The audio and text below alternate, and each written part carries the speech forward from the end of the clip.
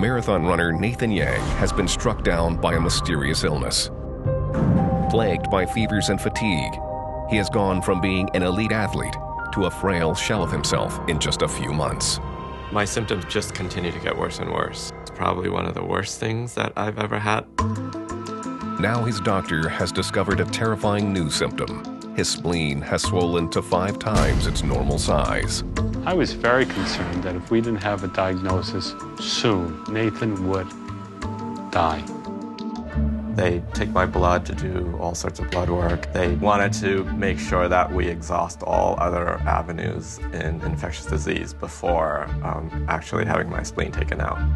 48 hours before the operation, the results come back. I got a call that his leishmaniasis test was positive. Leishmaniasis is a disease caused by the protozoan parasite Leishmania. When it gets inside the host, it feeds directly on the vital organs.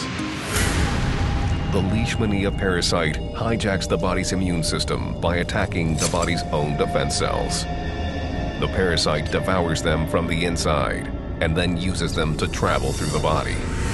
When the parasite reaches the liver or the spleen, where immune cells are made, it gorges itself, paralyzing the body's defenses. It's concerning imagining that there's a parasite inside your body. Leishmania parasite is spread by a tiny blood-sucking insect about a third the size of a mosquito called a sandfly. When an infected sandfly bites a human, the parasite enters the new host's blood. The Leishmania parasite is common in places like Asia, Latin America, and Southern Europe, but cases in the US are extremely rare. The doctors ask Nathan about his recent travels. I was on vacation in Greece with a friend of mine. We did some hiking in the mountains and in the gorges. The doctors think that it was on this trip to Greece that Nathan became infected.